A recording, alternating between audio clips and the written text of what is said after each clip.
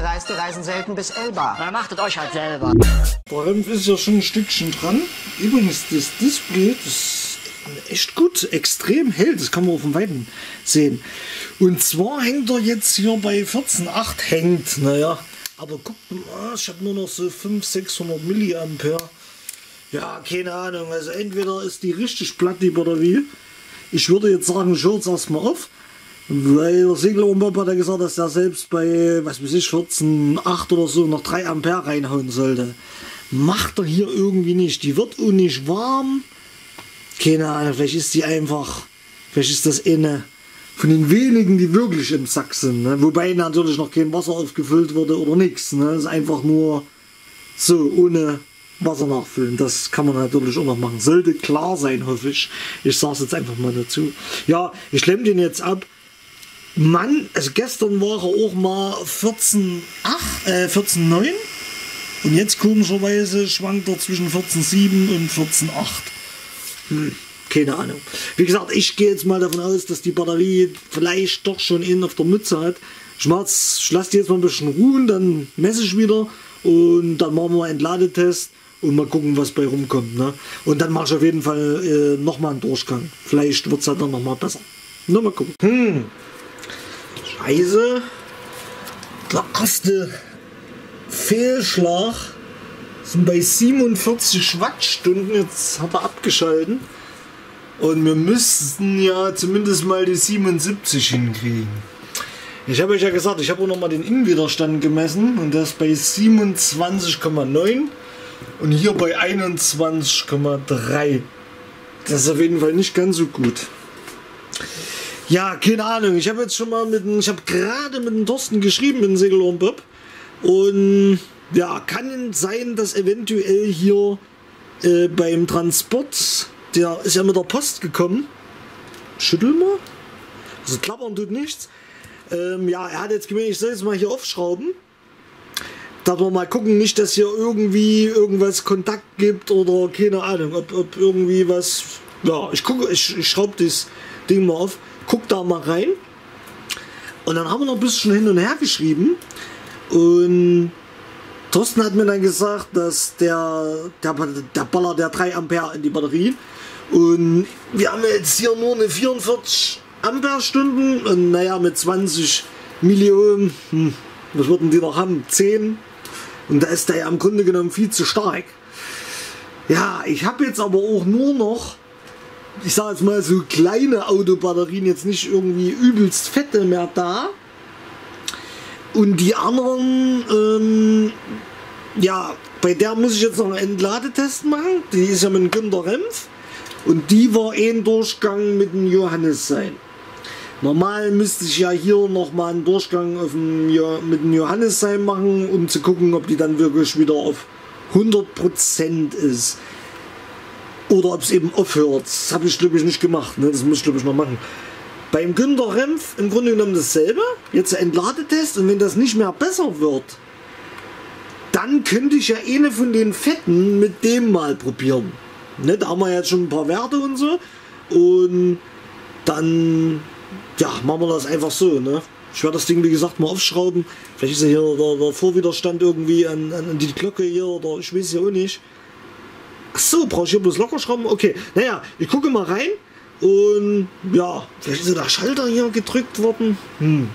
Ich glaube, wir sollten da noch mal telefonieren oder ich probiere das Ding mal am Labornetz, äh, am, am Platz und du mal ein bisschen messen und so. Irgendwas haut hier nicht hin. Oder ist zu viel Ampere, das weiß ich noch nicht. Ne? Kann natürlich schon sein, dass einfach zu viel Ampere sind. Gut. Ja, wisst ihr erstmal Bescheid. Hm. Erstmal ein bisschen ernüchternd, ne? Na gut, das gehört aber auch dazu.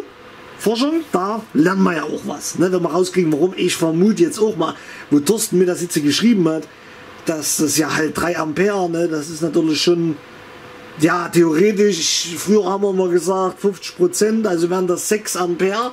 Bei einer vermutlichen 10 Ampere Stunde hatte ich ja bloß noch. In dem Moment jetzt, also da ist einfach wahrscheinlich zu viel Ampere, Jungs. Ne? Also ist nicht immer, viel hilft nicht immer. Ne? Naja, werden wir sehen. So, Ladevorgänge laufen wieder. Ich habe jetzt mal ich hatte mit dem Sigel und Bob nochmal Rücksprache gehalten und ich sollte mal gucken, ob das Potty Kontakt zum Gehäuse hat. Also ich habe es nicht aufgemacht, hat es aber nicht. Ich denke ja, das ist zu viel Strom. Ich habe jetzt mal komplett runtergedreht. Hier oben das Potty. Hier unten ist übrigens eine Sicherung für ein Travo. Und ja, ich habe jetzt ganz runtergedreht wir sind jetzt ungefähr bei ein bisschen was über 2 Ampere hat es für uns gerade angezeigt. 2,2. Ne? Also grob ein Ampere mal runtergedreht. Wieder an der Nummer 2 und naja, gucken wir mal. Ne? Ich habe jetzt mit dem Thorsten noch Bill gequatscht und wir sind so verblieben, dass wenn von diesen beiden großen, ob jetzt der äh, Induktionsrempf oder der äh, Günter Rempf seiner, die haben ja mehr Kapazität oder allgemein sind eben auch größer und der ist eher ab 65 Amperestunden. Und die hat ja nur 44 ne? und die ist auch wirklich nicht mehr so die beste. Ähm, dass man, wenn das hier eine von den Beeten nicht mehr weitergeht, dass wir den dann nochmal über eine AGM, also einen Durchgang nochmal mit der AGM machen und ja, dann gucken wir mal. Jetzt erstmal laden, hier die ganze Geschichte. Hier nebenbei läuft doch der Entladetest, siehst du, ich muss wieder anmachen. Da sind wir jetzt bei der Nummer, das ist die Nummer 7 hier und 286 Wattstunden.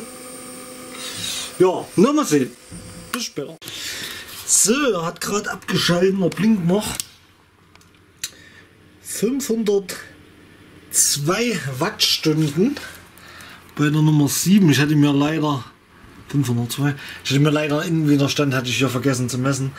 Aber wir hatten schon die 541 hier bei dem Durchgang und naja, ist jetzt schlecht geworden. Vielleicht hätte ich nachher eine Stunde oder zwei länger dran lassen sollen. Ja, keine Ahnung. Also ich würde schon sagen, mehr als gelungen auf jeden Fall, ja. Hm. Wäre jetzt halt die Frage, ob ich die wirklich hier mal noch, noch mal, wenn ich denke, ist voll oder so, dass ich noch mal 24 Stunden dran lasse oder ob wir jetzt sagen, komm, wir hatten schon 541 mit dem, lassen wir es gut sein. Ich weiß es jetzt auch noch nicht so richtig. Das überlege ich mir jetzt einfach mal noch in Ruhe. Hm. Ich habe jetzt äh, die Batterie über Nacht mal ruhen lassen. Ja, die ist jetzt geschrottet. Szenen Kurzschluss. Hm. Gut, lassen wir jetzt einfach mal so stehen. Dann hat die halt ordentlich eins auf die Mütze gekriegt oder so. Und ich suche mir jetzt mal einen größeren Kandidat. Nee, ach Quatsch, ich habe ja vom. Oh, wartet mal. So, ich habe hier vom Segel und Bob noch ein älteres Modell, schon von 2020. Der Volker war gestern da und hab, ich habe ihn gefragt, ob er vom Segel und Bob noch einen hat, der ein bisschen weniger Ampere kann. Ich hoffe, der macht keine 4 Ampere. Muss ich mal messen. Weil ja, der Thorsten gemeint hat, ähm, dass der halt so groß ist für so eine kleine Autobatterie, sag ich mal. Ich habe hier oben das Potty noch runtergedreht auf 2, äh, 2 Ampere hat er die Batterie gestern geladen. Und ja, ich habe jetzt ehrlich gesagt gestern nicht geguckt, ob das gestern, ich habe gestern einfach abgeklemmt, bin pennen gegangen. Und ja, keine Ahnung, also die ist auf jeden Fall platt. Da ist eine Zelle abgekackt. Und ja, ich dachte halt, weil da ja nur 3 Ampere, äh, weil der halt immer 3 Ampere raushaut, hab ich gesagt, Mensch, äh, Falco, bring mal äh, so ein vom Thorsten noch mal einen mit hier. Und damit ich mit weniger Ampere das noch mal probieren kann. Ja, jetzt ist es Schrott. Keine Ahnung. Ich überlege mir jetzt mal, hm, dass ich mit dem eine Batterie mache Ne, und wenn der 3 Ampere oder so reinhaut, das messen wir alles mal. Und dann vergleichen wir das nochmal mit dem. Weil, ja, wenn der jetzt äh, regeneriert und alles schick ist, sagen wir mal, was weiß ich, bei der Nummer 3 oder so, auch mit 2, 3 Ampere. Und hier würde ich dann danach das mal machen. Ja, und wenn das dann wieder schlechter wird, ja, Digga, dann ist hier irgendwas funktioniert dann hier nicht richtig, ne? Keine Ahnung. Na jetzt. Hm, scheiße. So, ich habe jetzt mal ein bisschen überlegt, die Die Nummer 3 hatte ja 12. Nee, Quatsch. Was laber ich denn? Wir haben die Nummer 2 hat man gehabt mit 21 Milliohm und 77 Wattstunden sind rausgekommen. Ich habe jetzt hier die Nummer 4, die hatte 10 Wattstunden. Da haben wir ja mit MyTech seinem mehrere Durchgänge schon mal gemacht und der letzte war, waren wir hier bei 7,39 Milliohm und 212 Wattstunden. Was war denn da davor? 215. Ja genau, da war es ja dann weniger geworden. Ja, die ist auf jeden Fall vom Innenwiderstand her besser und hat, hat aber auch 44 Amperestunden. Hm. Naja, gut, Sigler hat ja gesagt, das ist zu, zu klein. Ich will mir jetzt nicht noch eine Batterie ver zerknallen, sag ich mal. Naja. Ich würde das jetzt so machen, da ja bei der Nummer 7 sind wir bei 5 41 waren wir hier und hier bei 500. Ne, da hatte ich ja dann gesagt, das hätte ich noch ein bisschen länger dran gehalten, wären vielleicht auf die 45 gekommen, so ungefähr. Hier hatten wir 342, ja, also ich denke 540 für eine, der Falco hat es gestern noch mal gesagt, ich sollte es noch mal sagen, die ist glaube ich von 2016 die Batterie hier. Ich hoffe mal, das stimmt. Hier steht aber auch 2013. Und was ist 2009? Das ist doch 2013, oder? Oder 2015? Hm.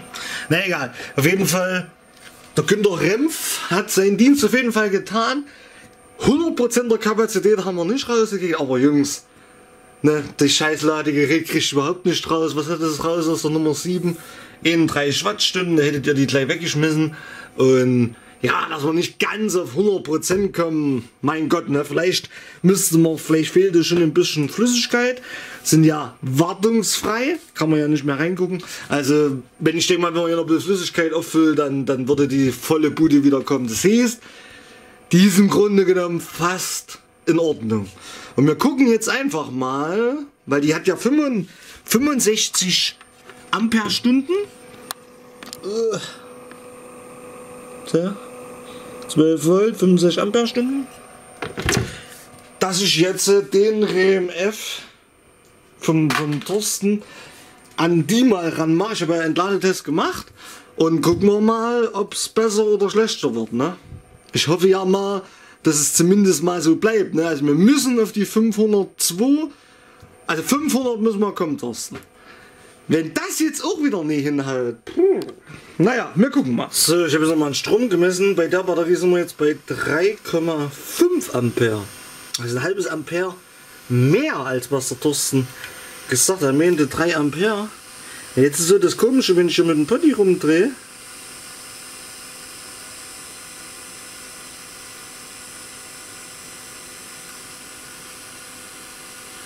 Ändert sich überhaupt nichts. Hm. Es ändert sich mal kurz und dann nicht mehr. Schrankgreif? Hm. Ja gut, keine Ahnung. Lass ich jetzt einfach mal so mal gucken. Ha, Männers. Mir hat gerade der, der Manni geschrieben, ähm, von wegen, wie er rausfindet, ob sein RMF schwingt oder nicht. Ich das so denke, das ist jetzt ist das Handy abgekackt. Jetzt leuchtet das, egal wie, wie rum ich hier angreife. Und habe ich dazu mal. Oh, da hat dazu mal ein Video gemacht, wie man beim RMF rausfinden kann, ob der schwingt oder nicht. Ne? Und da habe ich das Video habe ich in der in der Gruppe gepostet und das halt hier mit der ähm, Aframengo-Pumpe eben das sehr leicht möglich ist, ohne Oszilloskop eben auch zu gucken, ob ein RMF schwingt oder nicht. Ne? Jetzt habe ich mir das Video nochmal angeguckt, um zu gucken, ob es passt, ob ich das richtige Video für Money rausgesucht habe. Und jetzt habe ich das Video nochmal angeguckt und dachte mir, Mensch, schwingt der denn überhaupt? Weil Thorsten hat ja gesagt, sein Ostsee ist kaputt. Jetzt passt mal auf. Jetzt machen wir mal den Gegentest. Hier ist der, der Relais RMF. Wie ihr seht, minus haben wir was. Ich, oh nein, jetzt habe ich, habe ich die Spannung verstellt. Und nein, ich bin ja mit dem Finger rangegangen. Und wenn wir hier auf Minus gehen, äh, auf Plus geht's auch. So. Wenn wir jetzt hier mal gucken. Und Plus ist nix. Auf Minus ist nix. Hm. Und da wird auch ziemlich heiß. Also ich habe so die Vermutung, dass hier irgendwas, also dass die Basis einfach nur durchschaltet oder so.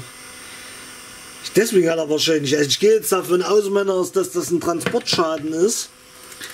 Ich mache den jetzt mal hier ab. Lass den noch ein bisschen kühlen, weil der ist ganz schön heiß. Na gut, nee, ich will ihn nicht kaputt machen. Da kann er jetzt, ist er noch ganz, noch heißer kann er ja nicht werden. Ja, Thorsten, also ich vermute mal, dass hier irgendwas Transportschaden oder keine Ahnung oder zu viel Vorwiderstand wie in dem Video, wie habe ich das genannt, schwingt er oder nicht. Also, ja, das ist ja mal mega fehl, Digga. Jetzt habe ich bestimmt die Batterie hier gegrillt, auch noch. Also das lag auf jeden Fall nicht an der Batterie. Scheiße. Hm. Das ist natürlich blöd. Ja, ist ein bisschen meine Schuld. Würde ich jetzt fast behaupten, weil ich gesagt habe, ich komm mal vorbei und äh, hol den RMF ab sozusagen. Also, wir hatten ein bisschen gequatscht und da hatte ich gesagt, ich komme vorbei, hol den RMF ab oder so. Und dann habe ich wieder verbummelt und da hat der Thorsten den eben zugeschickt. Ne? Das ist natürlich, das ärgert mich jetzt natürlich schon ein bisschen. Ne? Gut, pass auf, der Falco hat ja schon hier, äh, äh der Falco, ähm, Thorsten leistet äh, äh, äh, Schützenhilfe oder wie ist denn das? Keine Ahnung. Also keine Ahnung, ich will jetzt hier auch nicht dran rumbasteln oder so und hier irgendwas noch kaputt machen oder um Gottes Willen. Ne? Ich denke, ich werde das Ding mal an Thorsten vorbeibringen. Wir wollten der Bild was bequatschen und ja, da muss er selber mal gucken. Ne? Ich will jetzt hier nicht hier, das ist alles so schön gebaut und ach, keine Ahnung, weißt du? Ich weiß ja auch nicht, was los ist. Ich weiß ja auch nicht, wie es gebaut ist oder was verbaut ist. Da denke ich mal, ist ja der Thorsten, hat es ja selber gebaut, dann kann er es ja auch wieder reparieren. Vielleicht ist einfach nur irgendein Bähnchen ab oder umgeknickt oder was weiß ich. Ich weiß es auch nicht. Ich habe nicht reingeguckt, Thorsten, ich habe auch nicht aufgeschraubt, nichts. Ne? So, und zwar hier kommt die Schützenhilfe. Wir können ja nicht hier so, ich kann ja nicht einen Test machen, Jungs. Und am Ende bleibt bei dem einen oder anderen hängen hier, dass irgendwie das nicht so funktioniert hat. Ne? Kann immer mal passieren, ne? gerade wenn man es verschickt. Das ist natürlich dann jetzt gerade in dem Fall ein bisschen blöd. so, dann hat der Falco mir von Thorsten den RMF mitgebracht und zwar von 2020. Den habt ihr bestimmt ja schon mal ein Video von Thorsten gesehen. Ne? Brauche ich euch jetzt glaube ich nicht so viele zu erzählen. Den hat er, ja, den hat er mal einen, einen Falco mitgegeben zum Testen oder geschenkt oder ich, ich weiß es jetzt gar nicht, ich habe gar nicht gefragt, keine Ahnung. Auf jeden Fall, der Falco hat gesagt, äh, wo ich ihm dann gesagt habe, dass die eine Batterie jetzt kaputt gegangen ist, hat der Falco gesagt, hey, das kann doch nicht sein. Ähm, der funktioniert auf jeden Fall hier, sagt er. Ne? Er hat den schon mehrfach getestet und der funktioniert auch richtig und von daher, ich hoffe, der hat jetzt einen Transport überstanden. also nee, ich muss jetzt mal gucken, den kann ich direkt anschrauben, da hole ich mir nochmal Schrauben und etc. Ich klemme den jetzt mal an wir lösen diesen RMF vom Thorsten mit diesem RMF vom Thorsten ab.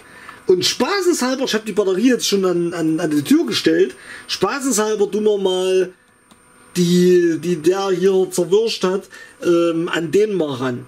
Ich kriege wir das ja wieder hin. Ich meine, die war eh nicht mehr so top. Ne? Also es ist, ist nicht schlimm, alles gut. Sind eh, die können wir alle kaputt machen. Das ist bezahlt alles, die Batterien. Wir können ja machen, was wir wollen. Und von den meisten Teilnehmern, gerade vom Johannes, habe ich auch die Freigabe, den notfalls kaputt zu machen. Und er hat mir geschenkt. Oh, danke, mein Guter. Den werde ich auf jeden Fall in Ehren halten. Ich habe schon überlegt, ich habe ja hier die Wand, da werde ich mal da werde ich noch was machen. Ich habe ja viele, viele Sachen. Ne? Ich habe von Atze noch äh, ein paar Sachen, ja, vom Segelwurmbob, oh, naja, hat sich viel zusammengesammelt über die Jahre. So, jetzt ist gut mit Quatschen. Ich schließe das jetzt alles an und Ah ja gut, ja, das ist halt ein neuer Kandidat jetzt. Ich kann euch jetzt auch nicht viel dazu sagen. Steht 12 Volt drauf. ist ein RMF. ist halt schon ein bisschen älteres Modell, sag ich mal.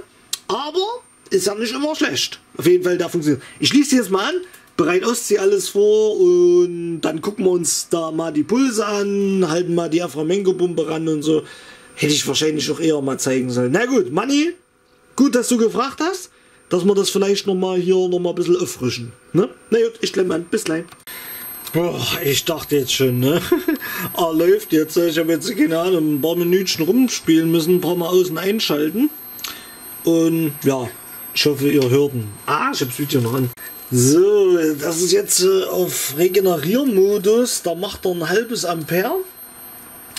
Auf Stufe 1 könnte ich ihn jetzt nicht schalten, funktioniert er irgendwie nicht. Falco hat schon gesagt, ich muss dann hier ein Magnet auf den schwarzen Punkt machen. Habe ich auch probiert, habe ich nicht angeschwungen gekriegt, die Mühle. Ja, wahrscheinlich will der die erstmal regenerieren oder so, keine Ahnung, ist mir egal, wenn es drei Wochen dauert.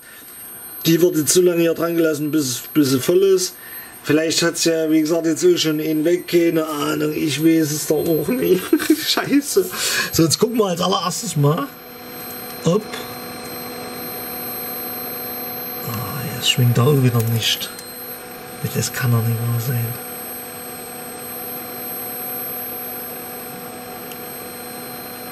Geht wieder nicht. Hier geht's.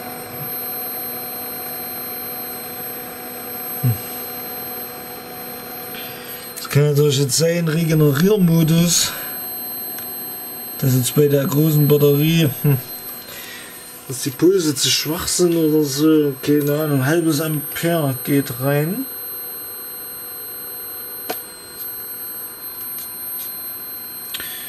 Ja, gucken wir einfach jetzt mal mit dem Ostsee. Ich weiß jetzt auch nicht so richtig. Ich klemme es mal fix an. Also, hier ist irgendwie, hier ist irgendwie der Wurm drin. Jetzt habe ich das Ostsee ran gemacht, da ist ausgegangen. Jetzt geht er nicht mehr an. Jetzt geht er wieder. okay, ich muss ja nicht alles verstehen. Keine Ahnung, lassen wir den jetzt einfach mal dran oder vielleicht leuchtet es ja hier am Eingang. Ja. Leuchtet es jetzt hier? Nein. Also ich kann mit Ostsee nicht rangehen, dann geht er aus. Ich kann es euch ja noch mal zeigen. Ich hoffe mal, ich zerrammel mir hier nicht mehr Ostsee. Also plus kann ich ranmachen, dann ist hier kompletter Salat, sag ich mal. Und wenn ich jetzt hier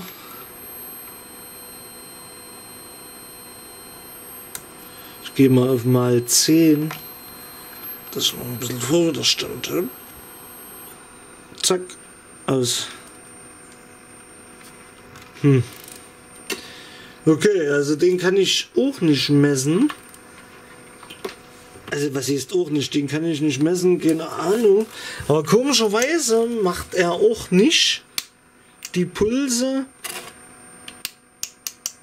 Jetzt geht er wieder nicht an, ne? Jetzt geht er. keine Ahnung, der Falco hatte irgendwie, dass ich hier erst drücken muss. Keine Ahnung. Also messen kann ich es nicht jetzt. Da muss ich mal gucken, muss ich mit Falco noch mal quatschen, beziehungsweise mit im Segelohren-Bob, was genau ich hier für ein Magnet drauf machen muss. Der funktioniert nicht. Fetten Stabmagnet habe ich auch schon probiert. Brauche ich da unbedingt.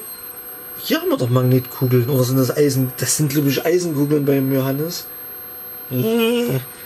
Muss ich mal gucken, vielleicht habe ich irgendwo noch eine Kugel. Ob ich da jetzt unbedingt eine Kugel brauche oder meine einfach zu schwach sind, meine Magneten, keine Ahnung.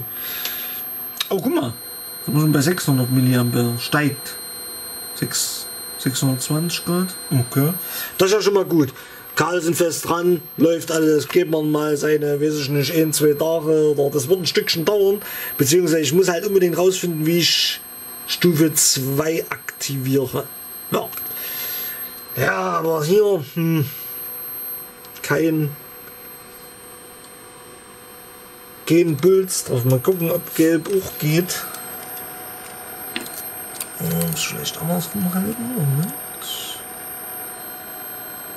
Okay, gelb geht nicht. Geht gelb hier?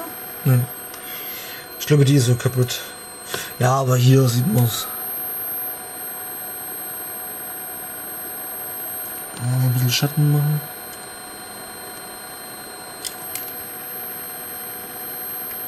Naja, lassen wir mal rödeln. So, kleiner Nachtrag noch. Dann haben wir es. Ich habe mir jetzt auf 740 Milliampere gekriegt, indem ich auf Regenerationsmodus, hier ist der LED leuchtet, also das läuft und schwingt und mit ein paar Magneten hier oben drauf. Hm. Aber den zweiten Modus kriege ich nicht rein. Vielleicht zieht der Akku dann zu viel. Ich werde jetzt mal, keine Ahnung, bis heute Abend mal dran lassen, dass ein bisschen Strom rein ist, beziehungsweise Energie, und dass man dann, dass ich dann nochmal probiere umzuschalten. Vielleicht geht's dann. Na mal sehen. Puh, Ende hat er das geschafft. Vom Induktions-RMF, wir sind bei 563 und wir hatten 579. Hätten wahrscheinlich schon wieder noch ein bisschen länger dran lassen können. Aber der hat tatsächlich mit einem Durchgang, ja, mehr krieg ich jetzt so nicht raus. Wie gesagt, vielleicht ein bisschen geht noch auf 600, wird man vielleicht noch kommen oder so.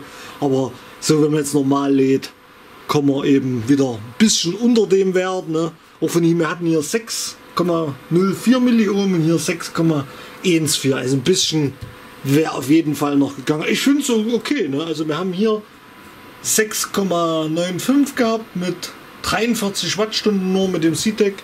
Und ja, also Bombe. Ne? Also man kann sagen, mit eben Durchgang freigezockt. Hut ab, du. Also das Ding, Wahnsinn. Ich gehe jetzt Pet. Tschüss. Ich hab's geschafft. Ich konnte auf Stufe 1 umschalten. Keine Ahnung, worum es jetzt ging. Gestern, vorgestern ging es nicht. Vielleicht musste sie erst noch ein bisschen regenerieren oder so. Keine Ahnung. Ja, ich lasse jetzt einfach mal noch ein bisschen dran. Ich habe mal geguckt, wir sind jetzt, äh, er war bei 11,8, wo ich umgeschalten habe. Und, äh, Quatsch, 14,8, das laber ich. Jetzt sind wir bei 15,8. Und was mir aber aufgefallen ist, ich dachte dann, na, jetzt müsste ja hier im zweiten Modus die wo ist denn jetzt meine Aframengo-Pumpe hier? Müsste ja die Aframengo-Pumpe jetzt äh, theoretisch leuchten, ne? Aber, wie ihr seht, seid ihr nicht.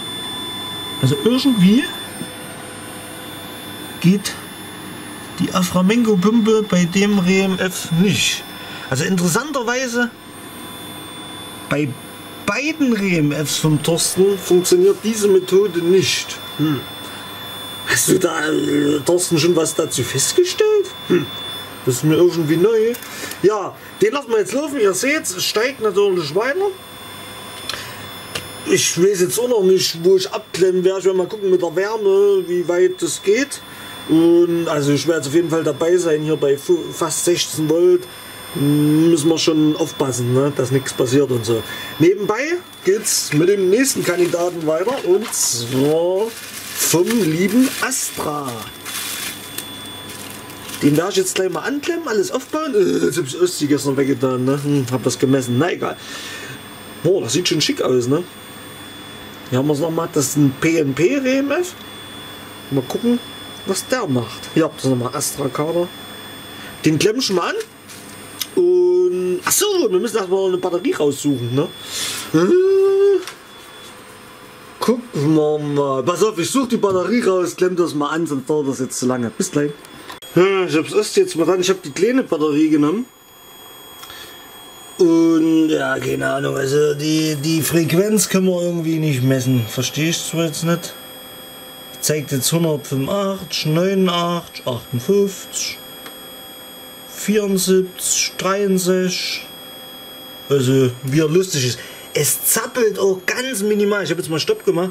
Hier oben zappelt es ein ganz minimal. Selbst jetzt ändert die Frequenz noch. Ich hab auf Stopp, Junge. Was? Was ist denn das? Ha. Na egal. Jetzt habe ich die Cursor nicht eingestellt. Ne? Ja doch, so passt. Ich hab dann nochmal die Cursor. Sind auf 200 Millivolt. Und wenn ich jetzt mal, also das ist jetzt ziemlich weit reingezoomt, wenn ich jetzt ein bisschen rauszoome, haben wir das Signal. Da haben wir hier auch noch mal. Wahrscheinlich ist das eher der Schaltpuls oder so. Ich weiß es nicht. Aber den kriege ich nicht getriggert. Der triggert immer das hier oben. Den abklingenden Sinus oder so. Hm. Wäre ja mal interessant, Astra, wenn du da mal was in die Kommentare schmeckst. Weil normal muss ich ja, ich vermute ja hier triggern. Aber kriege ich irgendwie nie hin. Warte mal, ich kann es ja schieben. Wenn ich jetzt mal so hinschiebe. Ich müsste ja auf den. Hm, keine Ahnung, krieg ich nicht hin. Da, da nimmt dann irgendeine Leiste hier raus. Ne? Vielleicht habe ich den Trigger nicht richtig eingestellt. Wobei, jetzt hat man zumindest hier in der Mitte. Ne? Na, keine Ahnung. Also ich glaube, das haut hier nicht so richtig hin. Da müsste ich mal. Ich messe ja jetzt, dürft ihr nicht vergessen, ne? ich messe ja an Batterie, auf der Batterie. Normal müsste man an der Basis messen und dann müsste es die Frequenz auch richtig anzeigen, theoretisch. Ne? Oder? Liege ich da falsch? Ich glaube, das stimmt. Ne? Wenn, wenn, hier haben wir ja diesen ganzen Blim-Bim drauf und dann sucht sich das OSC eben immer wieder einen anderen kleinen Punkt hier raus. Ne? Ihr seht ja. Ich mache nichts und es schwankt die ganze Zeit. Ja, ich sag mal, wenn es so sehr schwankt, scheinbar kann die Batterie noch ein bisschen regeneriert werden, ne? weil normal sollte es ja nicht schwanken. Gut, läuft. Ich bin jetzt bei 16 Volt. Wieso 16 Volt? So. 16,5. 2 Volt überlade Schlussspannung, hat Achim gesagt. Aber er lädt jetzt nur mit 0,07. Hm, weiß ich jetzt nicht. Da muss ich mal mit Achim nochmal Rücksprache halten, ob das so richtig ist oder ob ich auf 19 Volt gehen soll. Ne? Na gut, ich glaube, ich hätte ja damals 19 Volt gesagt. Gut, in diesem Sinne. Ich mache jetzt, äh, schneide jetzt mal das Video fertig hier. Das wird ja heute ein bisschen länger.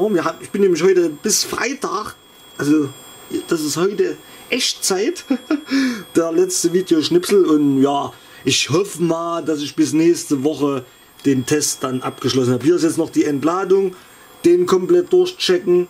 Und wenn eventuell noch einen von mir, das behalte ich mir aber vor. Mal gucken. Wir gehen nur die Batterien aus. Ne? Also so ein Hardcore-Fall habe ich jetzt nicht mehr. Deswegen habe ich die Nummer 9 genommen. Äh Quatsch, die Nummer. Ja, die Nummer 9, die Moped-Batterie, weil die eben noch 18 Milliohm hatte. Alle anderen sind wir hier schon bei 7. Gut, die 1 könnte man noch machen. Das überlege ich noch, ob ich die dann mit meinem mache. Oder nochmal, weil es die Moped-Batterie scheiße ist, nochmal mit dem äh, von Astra noch mal drüber oder so. Ne? Ja, und was ihr noch sehen wollt oder so, müsstet ihr dann jetzt mal in die Kommentare hauen. Letzte Chance, weil ich denke, dass ich dann nächste Woche eventuell fertig bin. Also ihr schreibt jetzt wieder 15 verrückte Ideen, was ich hier alles anklemmen soll und bibabib, ne? Dann dauert es durch noch eine Woche länger oder so. Also letzte Chance, haut in die Kommentare, was ich noch testen soll. Und ja, bis später.